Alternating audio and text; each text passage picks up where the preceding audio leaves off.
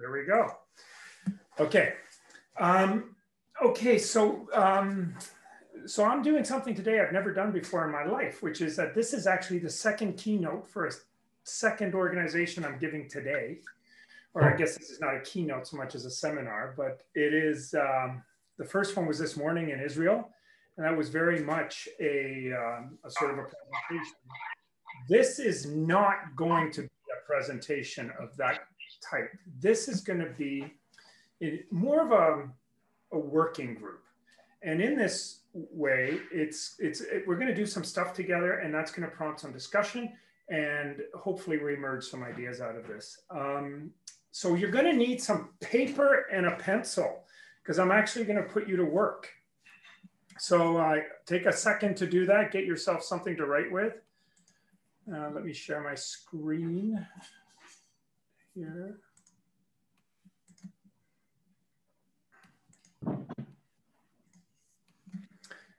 Okay, you should be seeing a PowerPoint slide now. Can someone give me a thumbs up?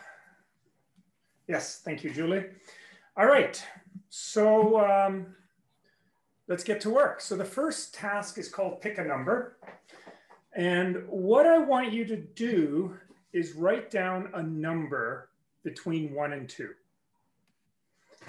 So just on your piece of paper, just write down a number on between one and two, okay? So yeah, this shouldn't this shouldn't take too long to write down that number. Okay, good. Um, all right. Um, what I want you to do now is to write down a different number between one and two.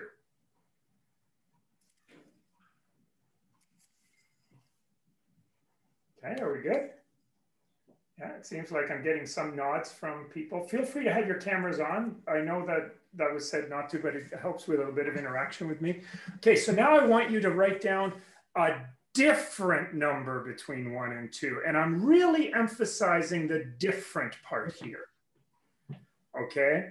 So for example, if the first number you wrote was 1.5 and the next number you wrote was 1.6, this time write a number between one and two that you're not re representing using a decimal. Okay, so I'm asking you to shift not just what the number is, but the type of number it is and the type of representation it is. Does that make sense? Can someone give me an example of a number they've written down so far? Feel free to turn on your mic and just learn. Seven over 13. Uh, Leslie, say again. 15 over 14. 15 over 14. There's an example of a number that's between one and two. Can someone offer a different number between one and two? One and two, two. fifths. Okay. All right, so now you're gonna write a different number between one and two. Pi over two. More different. Petra? Pi over two. Pi over two. Okay, so we see what's going on here now. All right, so what I want you to do is keep writing down numbers between one and two that are different. Really, really different from each other. All right, you don't have to share right now. Just write down as many different numbers between one and two as you can.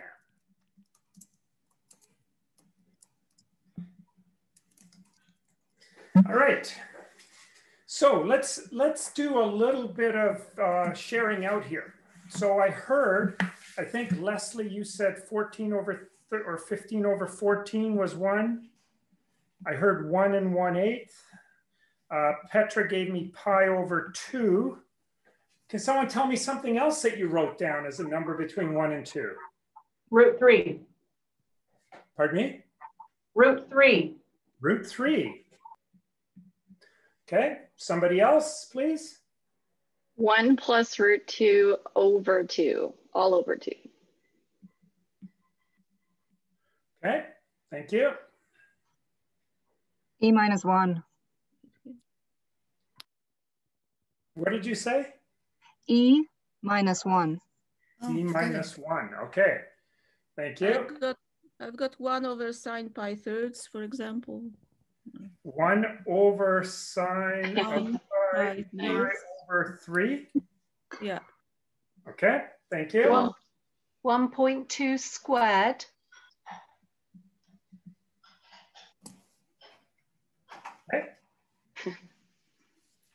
hundred and fifty percent. Okay.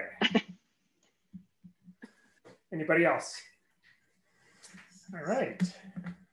Uh, two sine 60. 5, Two sine 60. ln 5,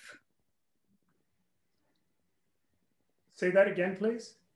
ln of 5, ln of 5. Oh, log, natural log of five. Okay, thank you. That's pretty good. In fact, that's not just pretty good, that is remarkable. Um, that is a really nice collection of different numbers between one and two. Um, if you're interested in what I just did, if what I just did to you is called a learner generated example, it comes from Watson and Mason. Uh, I was a little bit overly explicit about what I wanted. If I had more time, we would emerge this more slowly. Okay, so that's task number one. You've you've uh, you've done completed task number one. We're now going to move on to task number two. Okay, so you did a great job picking different numbers between one and two.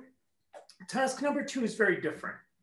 So task number two um, is a task about the ski club. So the ski club is going to go skiing, and there's 10 members of the club, and they've all raised different amounts of money for the for the trip. So they've done some fundraising, they've raised some money, but everybody has some costs. They may need some rental costs, they need to buy a ticket, they may need lessons. So there's a series of questions here all of the money raised, or rule number one, all the run, money raised must be applied to the cost of the trip. Every person has to go on the trip. First question Have they raised enough for everyone to go on the trip? If not, who should pay more and how much do they need to pay? Okay.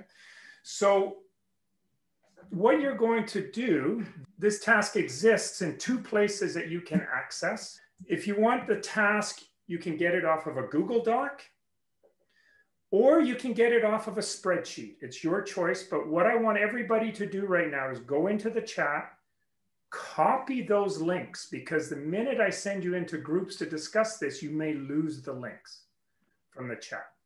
Okay, so everybody should be able to go into the chat.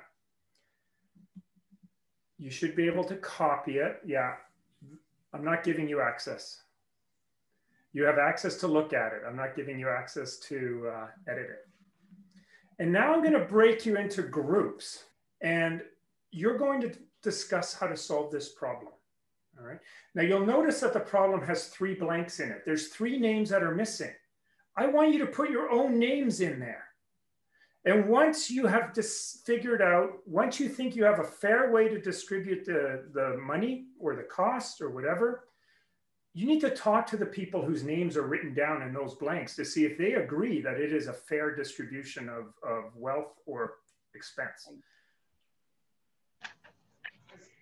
But I don't know, is everybody back? Yeah, I think we all got brought in. Yeah, okay, I can see all 81 participants are here. Okay, well, um, does anyone want to say anything about this task? You're driving us crazy as Sorry. usual, Peter. I'm driving you crazy, and that's not the first time I've driven you crazy, I believe. No, no. Pardon? The first three questions were very easy to do. But the fourth question is the difficult one. Yes. Anybody else have anything they want to say? We worried about the context, Peter. I mean, skiing is in these days um, sort of the top third, and there are a whole lot of people that can't relate to it. They don't understand what a lift ticket is. They've never gone skiing.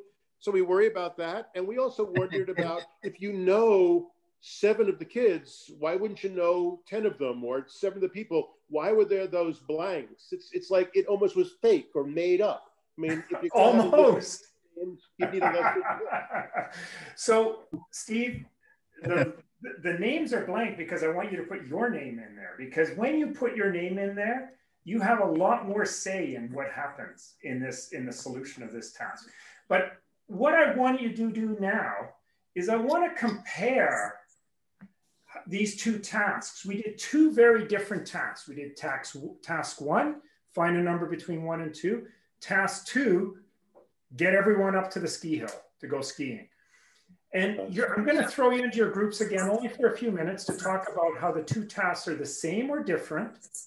And I want you to, I'm not suggesting, but there are some words here that you might want to use the vocabulary, words like arithmetic or mathematics. You might want to use the word numeracy or number sense or mathematical literacy. So all of those words are fair game.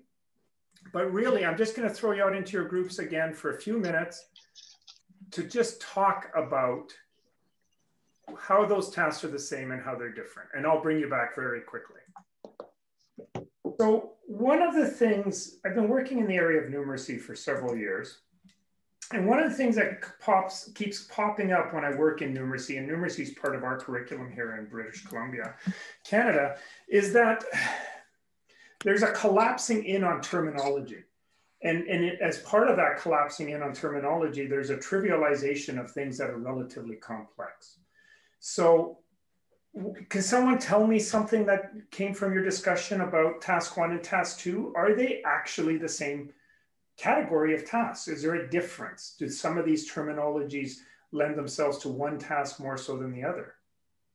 Well, what we were thinking of, uh, you have to know the, the exact definition of literacy.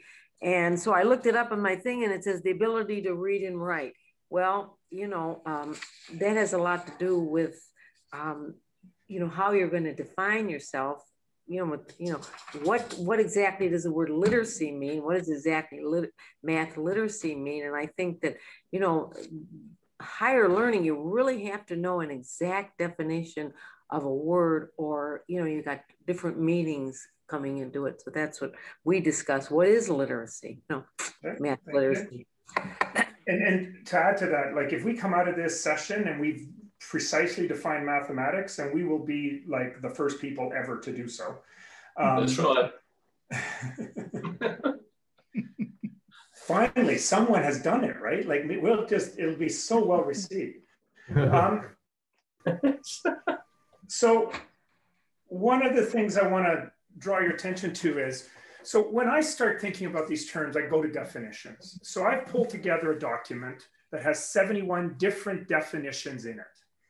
Um, and I'll, this QR code will take you to that document if you want. And at the end, I'll share a link for this PowerPoint and you can pull it out of there as well.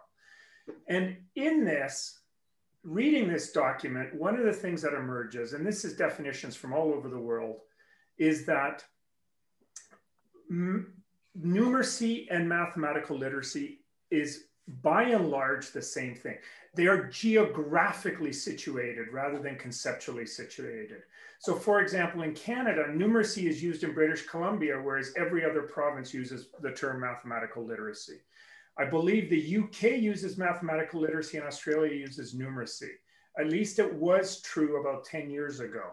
So, so and, and and this shifts in time and shifts in context, but by and large, numeracy and mathematical literacy are seen as the same thing. So the next question is then what's the relationship between numeracy and mathematics? Because if they're equal, if they're the same thing, what's the point of having a term called numeracy? Right. So in this regard, my favorite definition is this one by Robert Orrill. Efforts to intensify attention to the traditional mathematics curriculum do not necessarily lead to increased competency with quantitative data and numbers.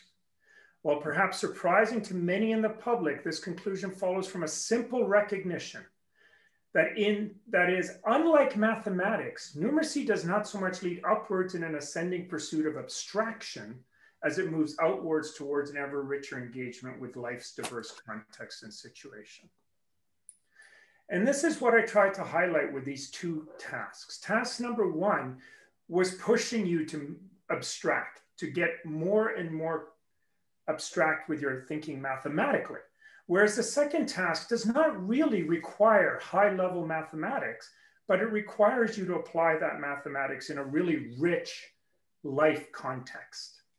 And in this regard, I view these two definitions sort of like this pictorially.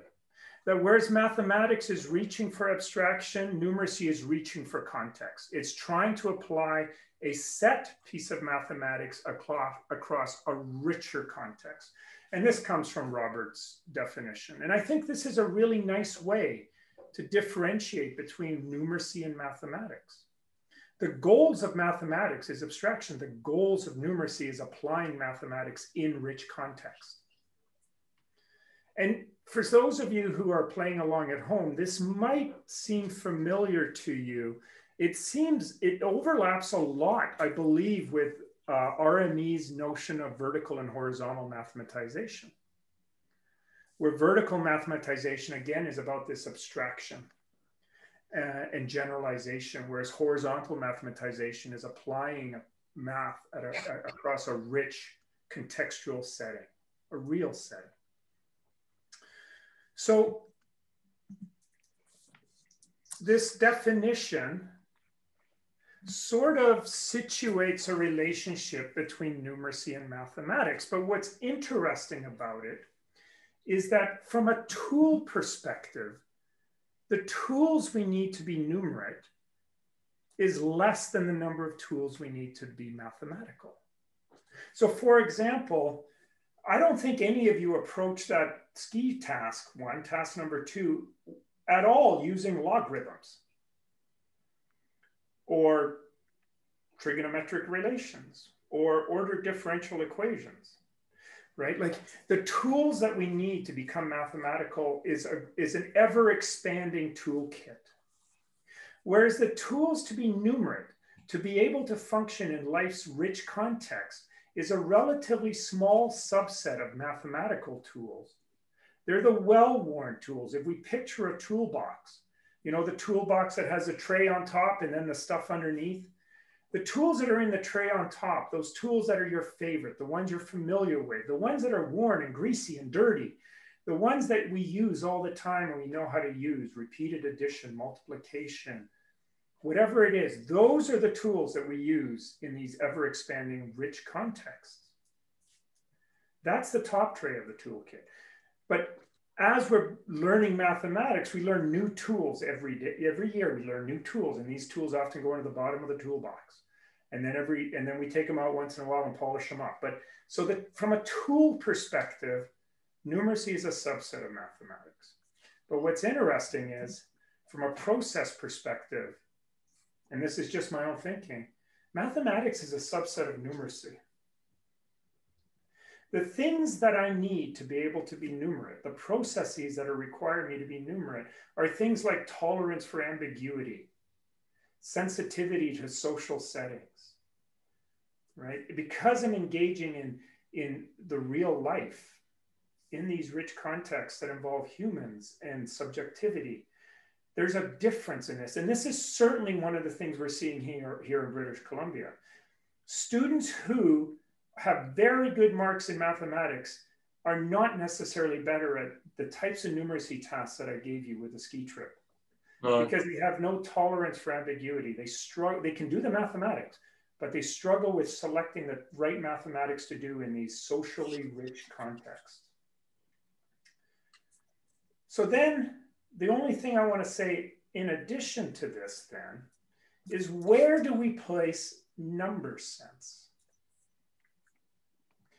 So number sense is in many ways the great enemy of numeracy. Because what happens in so many situations that I work is that people interpret numeracy to mean number sense. And when you uh. interpret numeracy to mean number sense, it gives you permission to focus on fluency. And now we reduced a really, really rich uh, activity or a really potentially rich context to work in to something that is trivialized and is arithmetic.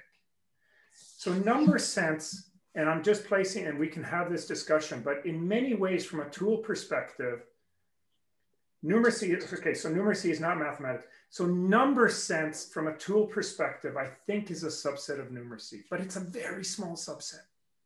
And from a process perspective, I think it's a subset of mathematics. And again, that's just my me Mm. thinking about it and, and trying to think about it. But the thing that's really, really important is numeracy is not number sense. And what I often say when I get pushed in this direction that numeracy is just number sense is I say, no, it can't be. There's no B in numeracy. And so I talk about the difference between numeracy and numberacy. So numberacy is number sense. That numeracy is not the same as numberacy. Numberacy is a different thing.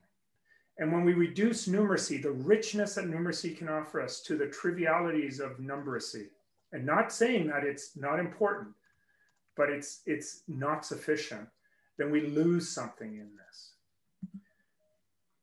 Numeracy is getting the job done with the tools you have. This is my definition of numeracy. Numeracy is stepping up and getting the job done with the tools you have.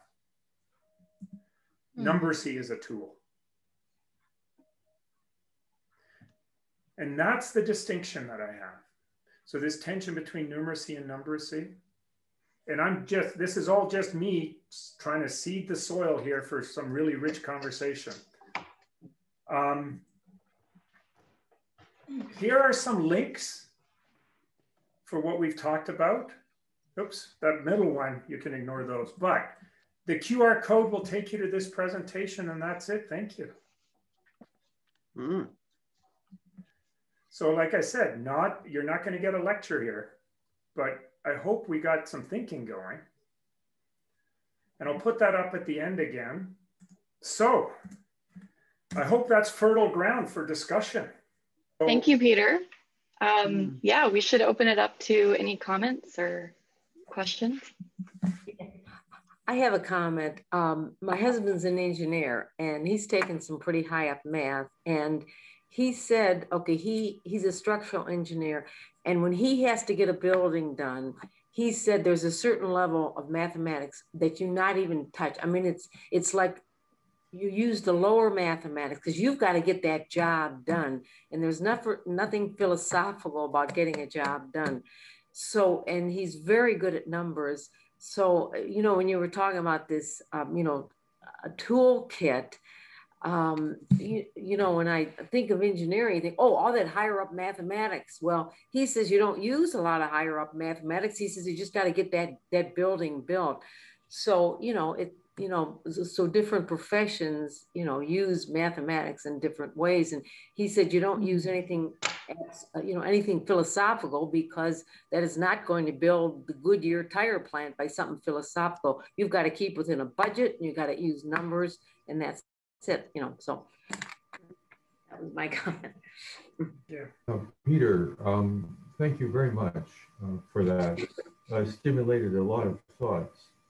Um, I, I think the, um, the difference between mathematics and numeracy is good. The, uh, the fact that you portray them in different ways in the task, was it the task perspective and the processes perspective or the tool perspective and the processes perspective uh, was very helpful. Um, I think the problem with number sense is that the, nu- the me- meaning hasn't stabilized yet. Um, Kees Hoogland just put up the definition that. from De, Dehaene, Yeah, um, which probably is the, the best known one, and I guess the one you're drawing on. Um, there's our colleague in Brazil um, at Recife, and it might take me a minute to remember um, her name, but she gave a talk at the last ICME um, on, um, and uh, does anyone know um, uh, Alina, um, Alina someone, she's in the, that department that's produced a lot of work on numeracy where um, Carraher and, uh, and uh, Schliemann and uh, Hmm. uh, Nunes were in the early days. Um, and, and she has quite a different definition that's closer to numeracy. So I just throw that out. I think that's the maybe the uh, in, unless uh, you know one can say, well, Dehaene's given the definitive word, but it is used Yes. in several ways. So Jeff, I think I totally agree with you, but the problem is that we can define number sense any way we want. But I can tell you that on the ground, in the schools, at least in Canada, number sense is viewed strictly as fluency, and that and then if number sense is then convoluted with numeracy, the numeracy collapses down to just Mm. learning basic facts. Mm.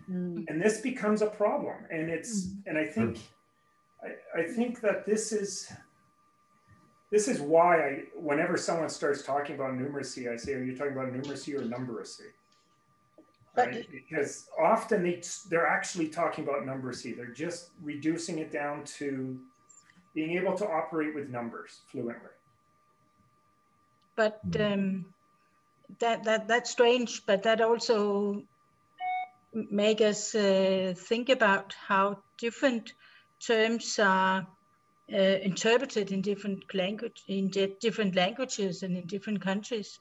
Because in Denmark we would not think number sense as something like fluency.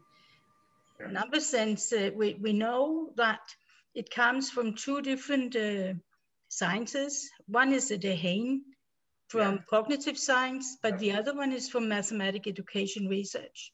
which is And the way we think about it is uh, that it is understanding, feeling, um, yeah, mo- more like numeracy actually. but it, how, but wh- which other countries think like in Canada? Do you know that? I don't know that, but I think a, a huge part of this is that what we're talking about here is very situated within the English language, mm. right? Because the minute we translate into other languages, and mm-hmm. then we get this lumping and the splitting that happens naturally through mm-hmm. translation, where some terms collapse down into one term and others expand out into into more rich Mm. demarcations, right? So, for example, in, in Canadian colloquial language, we don't really talk about didactics. Pedagogy embodies didactics. And then when you get into Europe and they split it, then you get a richer engagement with, with the distinction. Nice. Anyone else? Well, I, just maybe- before before anyone leaves, I um, sent a feedback link in the chat if you don't mind filling that out. But let's open it to some other comments. Yeah, I, I've looked into this quite a bit for some time in, in UK, and it's a very interesting situation in that um, we had a document in that there was a big force picked on adult numeracy, as it referred to here, for the first part of, of, of the, this century from, from about 2000 2010. 2011, a government document actually was published that said you should stop using numeracy and it replaced it with maths, not with mathematics. And I've been going through looking at definitions, particularly in ALM, for a lot of years. And then this dropped. And so its use in talking about adult numeracy um, that had been the current sort of description of particularly of the teaching people returning to learning, technical education, all that that had begun to be talked about as adult numeracy rather than mathematics became talked about as maths. Um, and, it- and, and in a way that still is, that still is, is the case. Um, and the mathematical literacy remains in, in um, sort of research documents, but not in in in the teach in the teaching. Um, so it's a very very very strange thing. But but and and numeracy as has just been referred gets dropped down to sometimes being this very basic uh, a basic skills sort of use of it. Um, um, which of course, as, as this lecturer, thanks very much, uh, but has has um, you know said that it, it should be a much much more powerful tool. Um, and the discussion of it, as I keep thinking, is is that defining and thinking about what we mean about it deep, deepens completely our, our sort of understanding of, of working with uh, some certain aspects of mathematics with a lot added in, particularly context and other approaches. And it's this idea of it being more than mathematics rather than a minor bit of it. Thank you, David.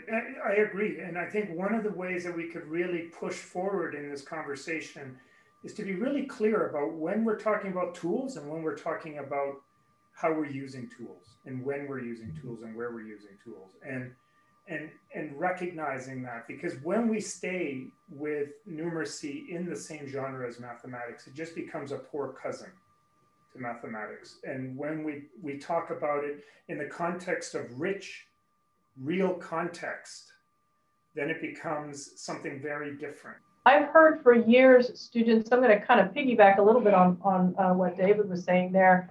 Uh, I've heard for years, you know, people say, oh, I was really good at math in America, so math. Um, I was really good at math until they introduced all those letters. And I mean, for me, it was it. It's always been a distinction um, between you know before they introduced the letters, it's arithmetic, and after they introduced the letters, it's algebra, and which becomes the, the study. You know, as you further further on in that process, uh, the study of mathematics. And I've always been able to make that distinction. Um, but the fine tuning that you, you did for me today, Peter. I really appreciate that. I find myself wondering how uh, how how it is that David Pym is not here to have to talk to us about the the, the, the nuances in all the different words and the definitions and and whatnot. Thanks very much. My pleasure. Thanks, Leslie. So Peter, this is Iddo Gal from. That was a wonderful. Yeah.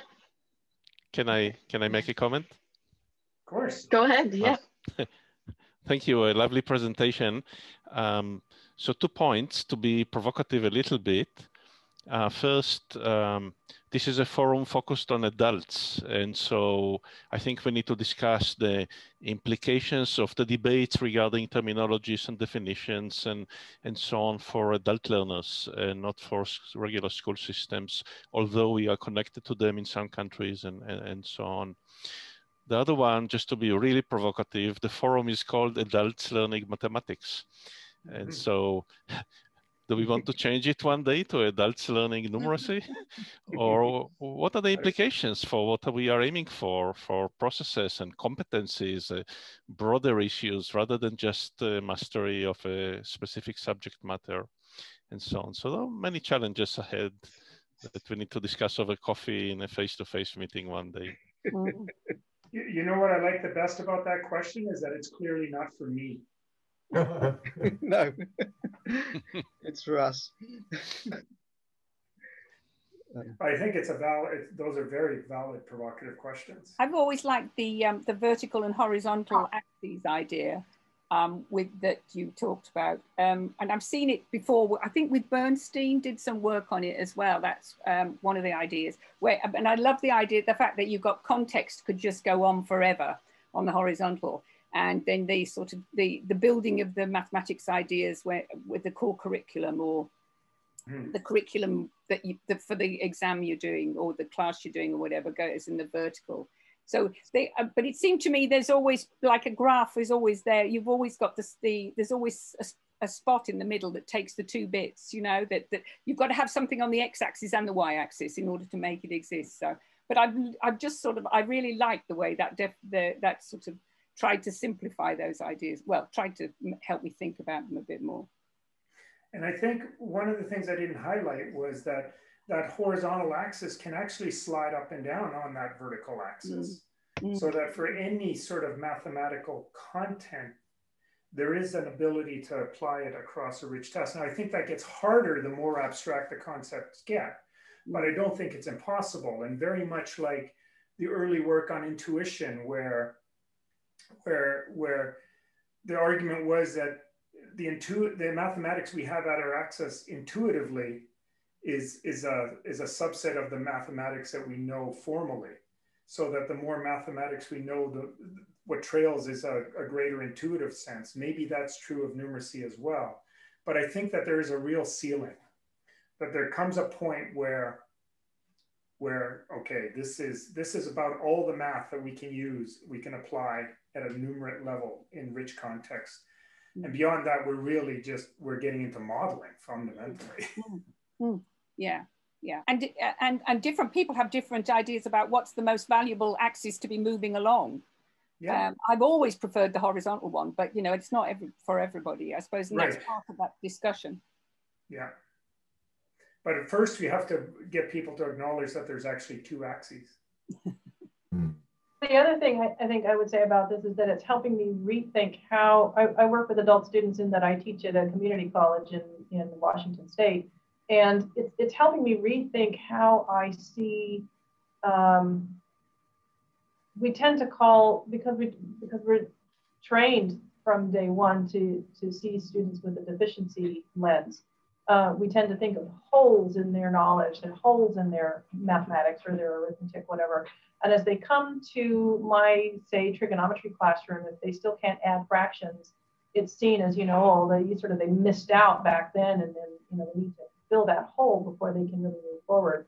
Um, but this is really helping me sort of reframe that, Peter. Um, looking at it from a they're in a place in the in the continuum you know do they have a high horizontal but a low vertical or a low vertical but a high horizontal and is there is there some place in the middle where we can meet and and and bring them to a place where they can actually still have a meaningful conversation about the con the content we're, we're asking them to learn without feeling like this has to be a like it's a deficiency model that they have to be you know have their holes plugged before they can even participate in the conversation. So it's a nice reframing and um, it, it, it feels like a foundation now. I have a foundation here with which or from which I can move forward in dealing with students. Uh, it was amazing and I thought it was at six. I think it must have been at five. It wasn't. Um, Vancouver.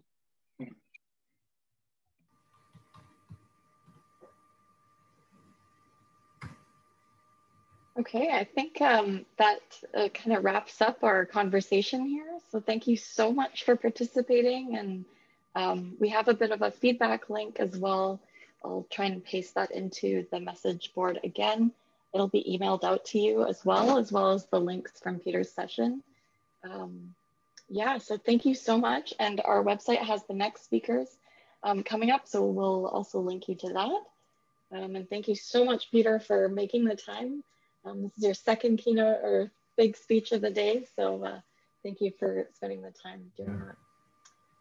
Pleasure, and thanks for having me, and thanks for everyone engaging so authentically in these uh, tasks and the thinking and the musing that came out of it. Yeah, it's excellent. Very provocative. Um, Beth, are you around? Did you want to say something at the end here?